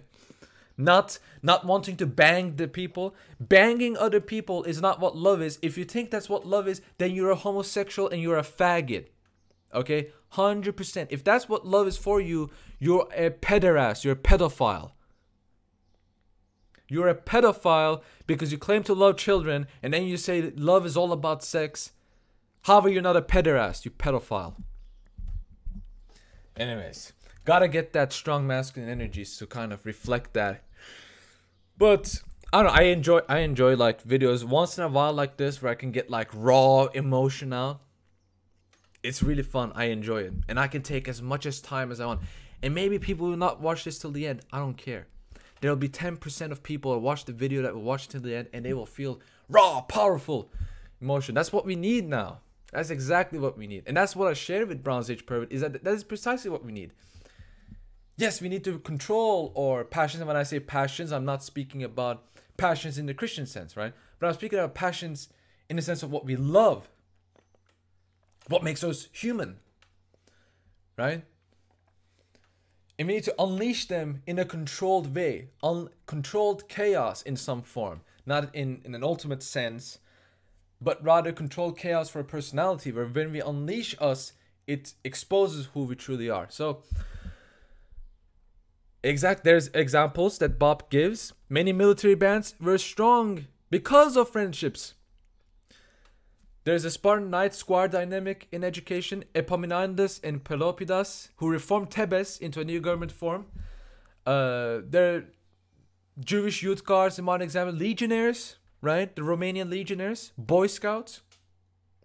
They are strong because of friendships. If they didn't have friendships, if they didn't have mutual love for each other, do you think that many of these military bands, mercenary bands, or of, of the past, of the ancient days, no one will have even cared about them. But the strength of those mercenary bands is because of love.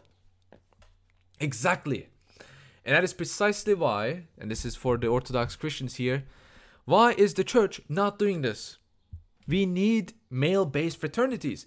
And I'm not speaking about like groups where we have like women and men. Fuck that. I don't want women in my fraternity. We need men in fraternity and we need to engage in warfare, spiritual warfare, with other men and develop real friendship this way. This is how you develop friendships, right? The apostles, again, the apostles with Jesus Christ, the apostles with each other. Do you think the apostles would be friends and love each other if they if they didn't go on a journey with each other? So strife, journey, challenges, it's what provides friendships. And I want to emphasize this on so many times. How else do you think? It's just gonna be, oh, I like visual novels. Oh, I like reading books. I read Dostoevsky. Oh, do you read Dostoevsky? Let's talk about reading that. This is not friend. This is homos. This is faggotry. Okay, that's not what friendship is. You're just two people that like the same thing. You're not friends. You're acquaintances.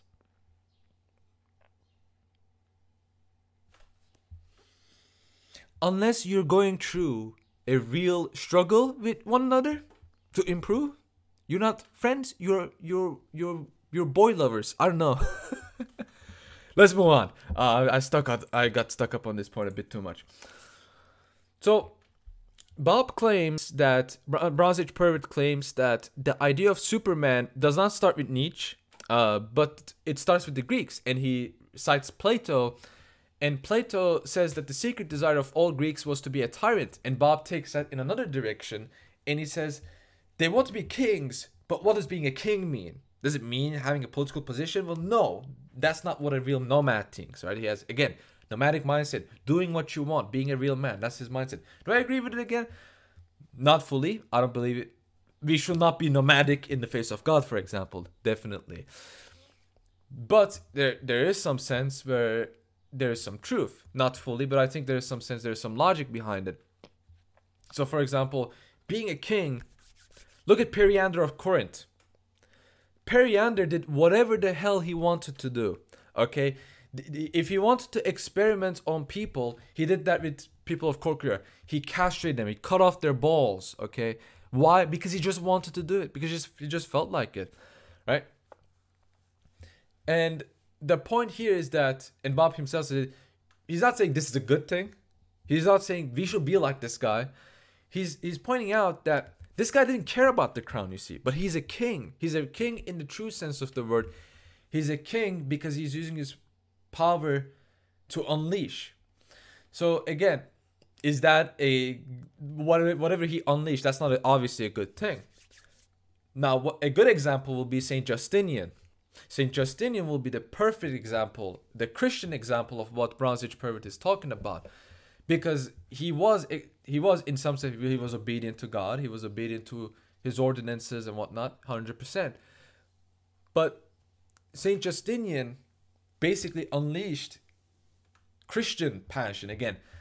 We're not talking about passions in the Christian like sinful sense, but rather something else, something more relevant to love for life or something like that.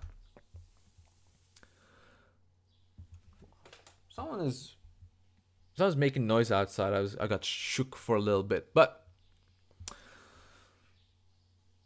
so he points out that being kings, they like Plato was not talking about Greeks wanting to be kings in the political sense. They want to be kings in the sense of supermen, in the sense of what Nietzsche was talking about. Uh so with this example, the ancient the the the decadence of the modern elite is incomparable to the decadence of the ancient elite. Because the ancient elite was a lot more in your face or a lot more energetic, whereas the modern elite is a lot more uh, how should we say this? The modern elite is the boring that kind of decadent, he says. Uh, I don't agree with that. We have we have like really crazy satanic stuff with the with the elites, but he's basically saying they're not they're not bronze they're not they don't have the bronze age mindset. This is basically what he's saying. Um BAP has an extremely good point about second wave third wave feminism. He says liberation of women is prostituting the woman to financiers lawyers and other employers. You are prostituting your wife to the employers to the people that employ your wife. So you're actually just a pimp. If you're married to a woman and you send her off to work at some lawyer some schmuck, you're just a pimp and you're prostituting your wife. And this prostitution is not always sexual, although sometimes it actually is. It's not always sexual. But you're giving her away to other men so she can spend time with other men and other institutions so they can use her. That is prostitution. I, I definitely agree with BAP. So moving on, Bronze Age says that feminism is a revolt of women against the new democracy and institutions and the beatification of men, starting from the 19th century. He says they have been in a revolt against the inability of the bug man to command authority or respect. I agree, yeah. And you must understand that there is no bottom to this freedom or revolution. There won't be any opportunity to say, I told you so. They will never learn a lesson from their foolishness. And they resent the insecurity you have them you have put them in. The calamity that will surely follow from the going down this path will not be a teachable moment to anyone. It will destroy the civilization. No great civilizations, no great nomadic mindsets, no great civilizations and cultures were never founded nor kept alive by the betas. The nerdoids who have taken over much of the right have, be- have brainwashed you to this view, but it's wrong. Women never loved the shopkeeper. They never loved the timid merchant with the nasal voice. They never loved the clockmaker or the craftsman. They've always loved the knight, the sailor in love with the wild ideas of the sea, the adventurer and the pirate, and I will add, they always loved the Andrew Tate. You know Andrew Tate? Cobra Tate? My man Cobra Tate, he has 17 girlfriends or something, and all the girls know and they don't care. They don't care because they got a they got a shot at dating the Cobra Tate. That's the guy. By the way, that's the guy. You know, you know Mikhaila Peterson, right? Jordan Peterson's daughter. That that girl, that girl who posts pictures of her in bikini and Instagram, her underwear on Instagram. People are like, oh, she's no, she's a good because I love Jordan Peterson. He will never be a cuckold. Wrong. Mikhaila Peterson dated Tate, knowing that Tate was fucking bunch of different women.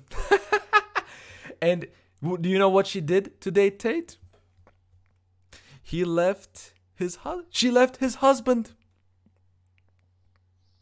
And his husband accepted her back because she rode the cock carousel enough and now she's back to her, to her husband. What a whore. And that man, what a better. What an absolute better. And if they even somehow see this, I don't care. She's a whore and that guy's a better. Pure and simple. Pure and simple. And you look at the guy, and he, he does look good. I mean, he looks like an 8. I will say he looks like an 8. But come on. and it also highlights another thing about modern women, and that is that no you can be an 8, you can have you can be rich, you can have a good life, you can be a great guy. But if there's Andrew Tate's around looking at her, you know what she's going to do? She's going to say, "I'm leaving you. I'm leaving you. I got to I got to spend 10 minutes with Andrew Tate." gotta gotta spend 10 minutes with Andrew Tate. And then if those women are really stupid, uh, then they get tricked by Andrew Tate and Tate just puts them in a prostitution ring and they become cam girls. I'm I'm not kidding. This is what actually happens right now. So moving on, BAP says that this resentment is manipulated by the satanic power that rules our time, and that through this very drive from for freedom, women become more enslaved than she has ever been before. You won't be able to make women see reason and love a beta civilization. A fabrication of the HBD cuckold crowd of our time.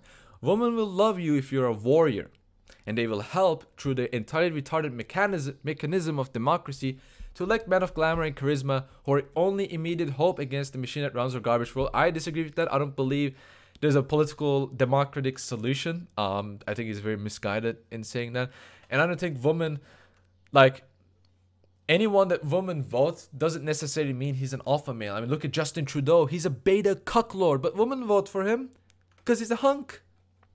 Because it looks cool. And you look at the other ones, they're beta. And I, okay, that's a good point. But Trudeau is not a Chad. Trudeau is a bitch. He's a little bitch. Okay? And he also points out that women elected Hitler and Mussolini. Yes, actually, no, people don't know this. Women elected Hitler. Exactly. Um, tough, tough luck for feminist women. Uh, should we give women right to vote? Well, they elected Hitler. I mean, I think BAP considered that as a bad thing, but maybe it does, maybe it doesn't. I don't know. But as I said, um, he seems to think that through a democratic election we might get like a base leader eventually like trump but better edition but i don't believe i don't think that's the case. I think the i think democratic solutions don't exist. Um i'm not advocating for accelerationism either. I'm just saying eventually democracy will collapse and that's how we need i think ultimately you know ultimately what's important is converting a Christianity, spreading Christianity, having a Christian worldview, spreading that worldview. Ultimately, that's what matters, and the political solution will come afterwards. That's that's how many Christians in the Roman Empire got a Christian Roman Empire. Uh, Bronze Age Trooper points out that the samurai, for the samurai, it take, took them too long to realize that they had all the power during the Japanese feudal times. There was a weak bureaucratic, bureaucratic power in Japan, and it took the samurai a bit too long for them to realize hey, actually, we had the swords, we had the fighting skills, we can actually employ our the government unlike these weak bitches. Let's kill these people. And that's what they did. And eventually maybe that might be that, that might happen. I think I think the people do have some sort of power and they don't really realize it maybe they do realize it, but they don't believe that they can coordinate it. That's also a huge problem. Is that with the with the mass populace, you can't coordinate. The only thing you can coordinate them is making them follow their passions. And I'm now here. I'm speaking the, that in the Christian sense, their passions, their their sinful uh, allegiances that they have. Uh, one of the critiques BAP makes against uh, ethnic nationalism is is secessionism more so. Says ethnic nationalism might be the future, but secessionism is not, because no one wants to give away their land, to give away land that their ancestors died to keep. So seceding to territory like Texas to Mexico is nonsensical, because whites fought to conquer Texas, right? So that's his point, and I think yeah, I think that's a very basic instinct that a lot of people have. So I think that's a great point that he makes. And now this is the section where this is more about modern politics and what we should be doing in light of modern politics and uh and so we're approaching the end.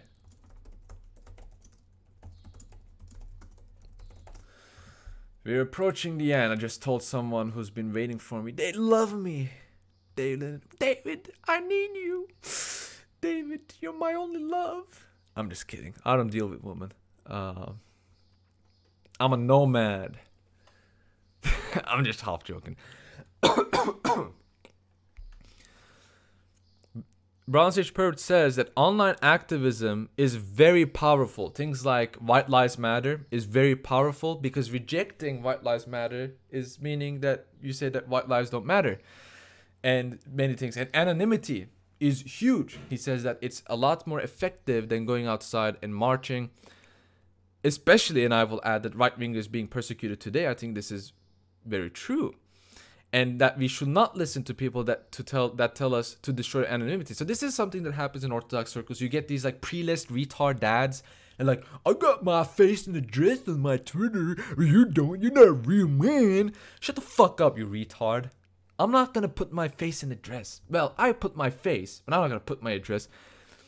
Well, my case is a bit special because I live in a protected country. No one can touch me here.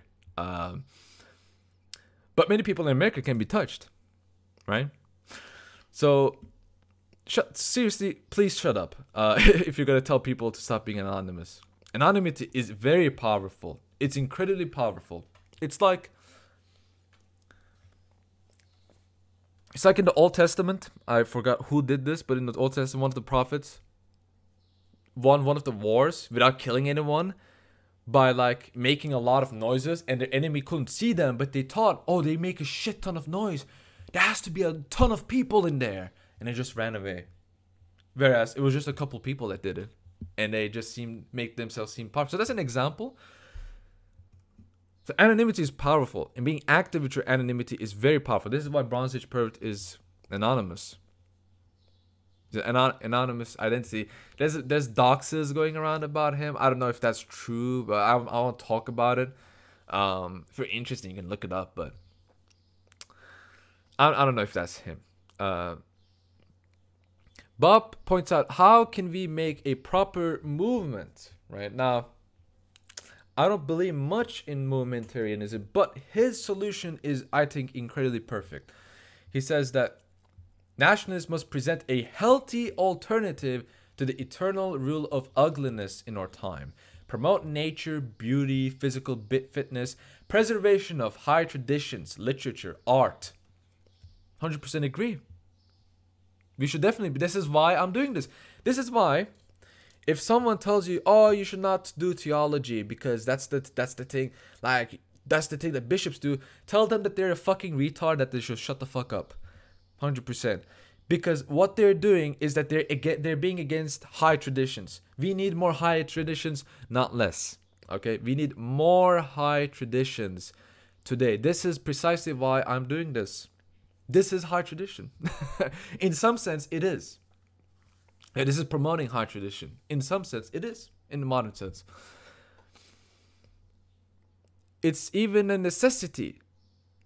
Because there is no school or university that will give you a worthwhile education. 100% don't go to university. And if you can't don't even go to high school. There are a variety of because they don't teach you about this. They teach you about stupid stuff. They teach you about i don't know made up stuff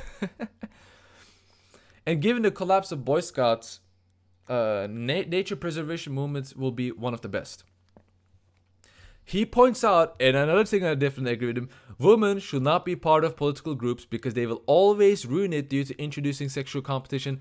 100% agree. Women should not be part of political groups. We should not make women part of political groups at all. Uh, if they want to do things on the side, maybe, but they should not be the full members. Okay? 100% agree. That's why, like, I can't get behind women politicians um, or like women in political movements. The best thing modern right wing movements can do if they want to be real movements is to do charity and help their local communities. 100% agree. Another great point. So much wisdom. There's unironic, there's so much wisdom. Uh, exactly. This is what Christians need to do as well. we see a lot of people that like accelerationists or they, there's an alternative where they're like oh you know let's just wait and like wait it out like this no no no no no no. You have to be you have to act on your beliefs okay? You have to actually act on your beliefs. You have to do charity. You have to be out there. You have to go out there. You have to remain as a firm social movement of promotion of a promotion of natural beauty healthy living healthy nationalism healthy christianity i may i may add. And any attacks on such groups. So he's talking about here like if you're promoting natural beauty healthy living and you're being attacked as nazis and whatnot no problem. Absolutely no problem. No problem because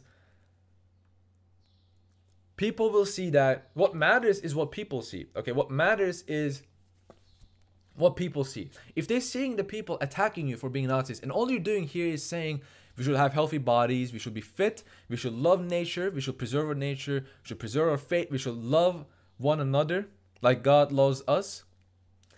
People will see that and they will say, These guys are retards. That's the point. That's why saints, that's why martyrs are so powerful. Because you look at the martyr and then you look at the people persecuting the martyr, and the people looked at them and they said, This guy is the guy I want to follow. The other guys, they're they're idiots. Exactly. And this is a strong mimetic technique is to force your opponent into accepting and defending the absolute worst people. Make them defend Stalin. Make them defend the absolute worst gutter gutter people. That's why all lives matter is a good example because if you're against all lives matter, then suddenly you're like, okay, whose lives don't matter? That's why it's so powerful, right? All it's okay to be white, right? That's also powerful. A good slogan of white lives matter. If you see someone rejecting white lives matter, wait, are you rejecting that white lives matter? And if they say no, I don't, then okay, then white lives matter. That's the, that's all I'm saying. I'm not saying anything else. Bronze Age Pervert says, The friends you make are more important than the girlfriends or wives you'll have. I agree, definitely, 100%. And actually, your girl will admire you for this. That's also true. Not that you should do it for that reason, but it's an added benefit. Women admire men with great personal projects and who are not beholden to them. If she's your everything and your best friend and you should one love with your life, blah, blah, blah, she, she will lose respect for all you. And the greatest end that nationalists and allies have against the enemy is the fact that the enemy has sowed sexual chaos and has destroyed romance.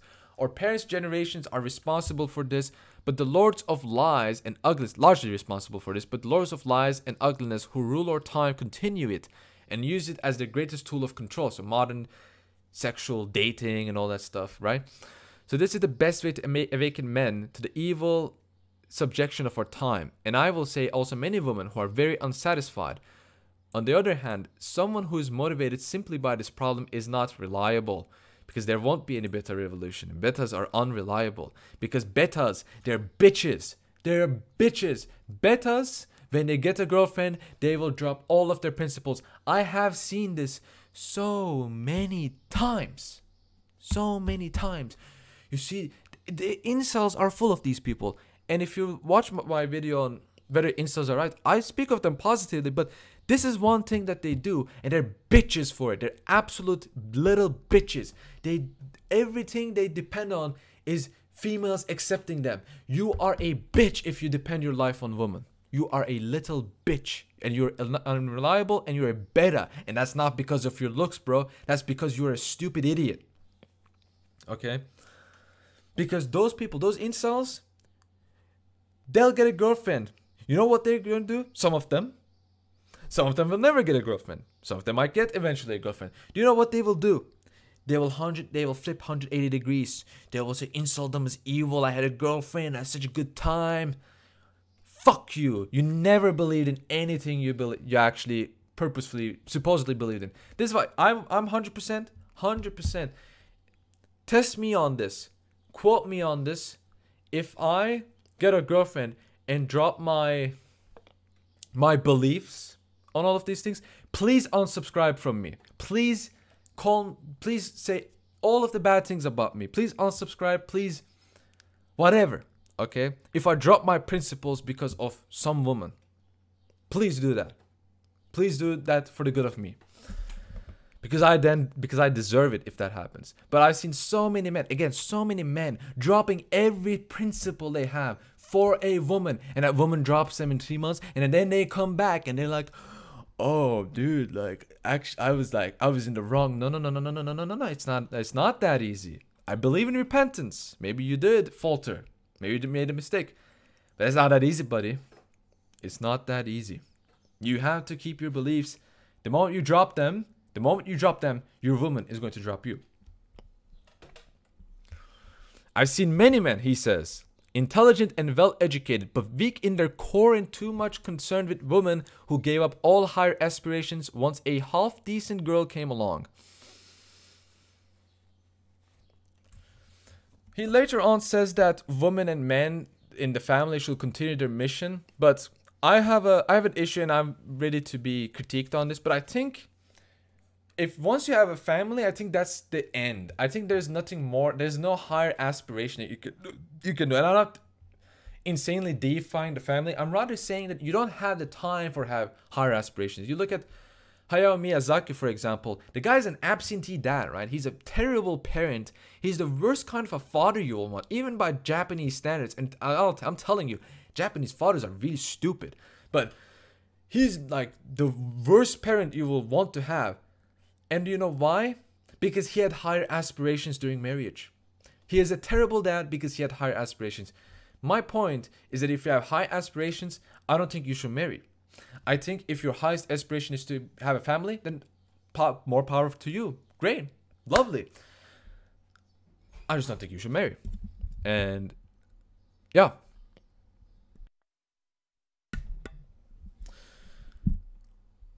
and we're reaching the end of the yeah so that's my point. The family becomes dysfunctional exactly. If you have a higher aspiration than your family your family will inevitably become dysfunctional. And you don't want a dysfunctional family because a dysfunctional family will produce dysfunctional children. Dysfunctional children will produce even more dysfunctional children. This is exactly what's happening today. We don't need more of this. Thank you. And last note i have is that he thinks that science will leave the constraints of comfort and entertainment. It's the, like the nitpicking I have. Um, actually, it already has left the constraints of comfort and entertainment. The difference is pop scientism left uh, has constraints of comfort and entertainment, but the weaponized science is without constraints. And I can tell you, it's terrible. And that doesn't mean that people think science unconstrained means that science at its fullest sense. No, that's not actually true. It's like saying, like, if a man has full, complete freedom, does that mean that that man is a man in the true sense? No, he's not. He's not a man in the complete sense. But rather, he's abusing his freedom against himself, and I think this is the case. Uh, so that's that's a, that's I think this is already the case today. Uh, what he's talking about. So that's another critique I have, and that is all of my notes and we're a little less than two hours. That that that is all. Uh, I don't have anything more to add, anything less to add. Yeah, uh, this was a fun talk. I had a lot of fun doing this. I went full on, full hyper energetic, released some of my passions about my beliefs and whatnot. Because if I'm too robotic, then you know who am I, right? I, I loved making this talk. Uh, I hope you enjoyed listening to me. It was kind of bad at the beginning. It it went typical. Uh, it didn't it didn't go so good. I couldn't find my words. I had a hard time explaining myself. But then over on, when my when my anger hit maximum level, not my anger, but when I hit maximum level, I felt like I could actually explain myself properly. Anyways, thank you all for watching this so far. And I final final analysis of this book. It was fun, good points and bad points alike.